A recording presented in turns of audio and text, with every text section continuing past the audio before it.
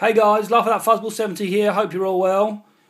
Today marks a, a, bit of a moment on my channel. This is my 500 subscriber edition, and I thought what better ship to pick than the Millennium Falcon.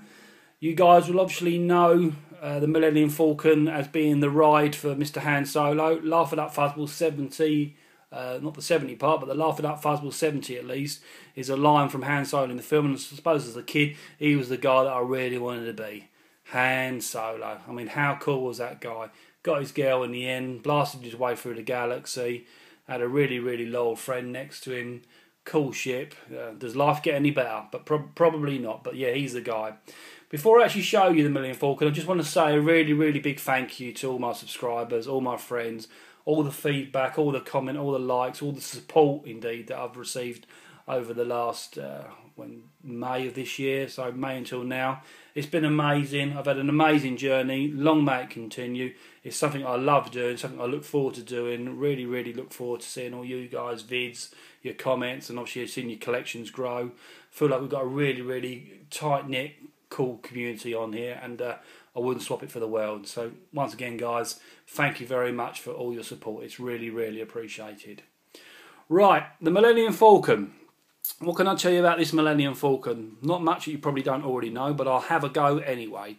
The one here we see is on the Empire Strikes Back box. The picture behind, you'll, you'll notice more eagle-eyed of you, is from the 1979 Star Wars box. Literally as the film switched over from 79 to 80 around that period of time, they just simply changed the logo initially and in 81 gave it a different backdrop. They actually put like a Bespin Cloud City in uh, for The Empire Strikes Back, and in '83 changed it over again to a. Go as a backdrop. It's a hard one, but I suppose you'd best liken it to um, Tatooine, somewhere around there.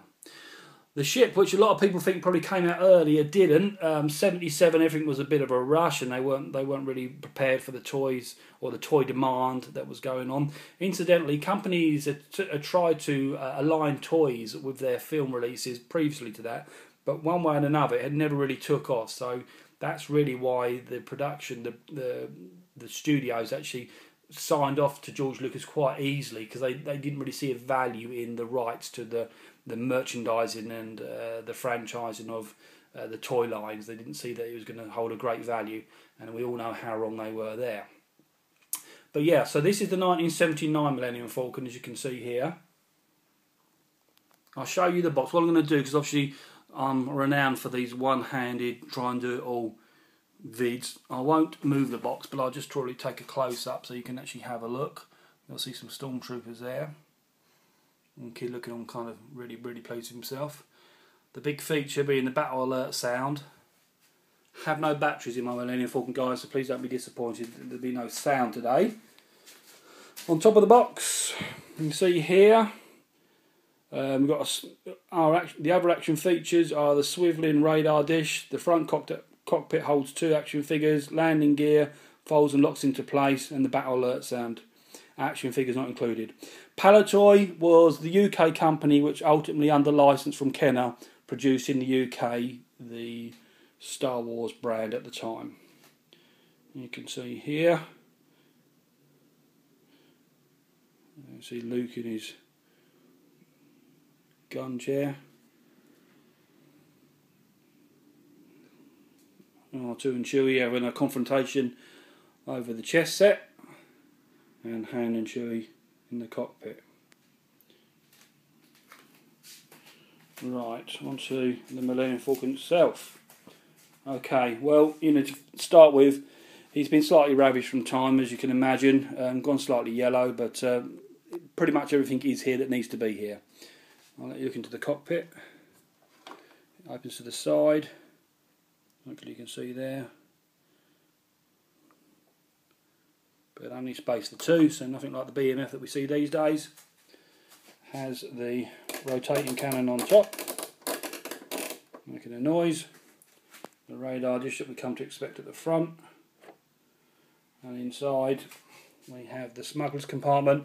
This is slightly slightly remoulded over the period of time. The Millennium Falcon itself actually didn't change. Um, the mould didn't change for its whole five-year toy run. It really was what they brought out in '79. stayed with us until they finished it in 84, early 85. You can see the chess table. Most of the stickers remain inside. And there's the, the gunner's chair. Stickers at the back. And you can just see the, the ramp section there.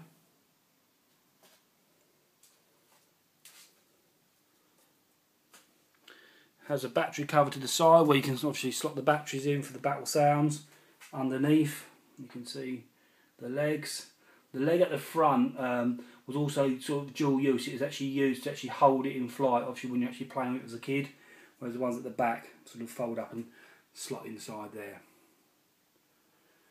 But yeah, that's a 1979 Millennium Falcon on the Empire, the the very early Empire card before they actually switched the backdrop over.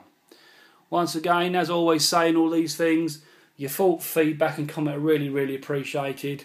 And just another further shout to you guys 500 subscribers, wow, you blow me away. It's been amazing, yeah.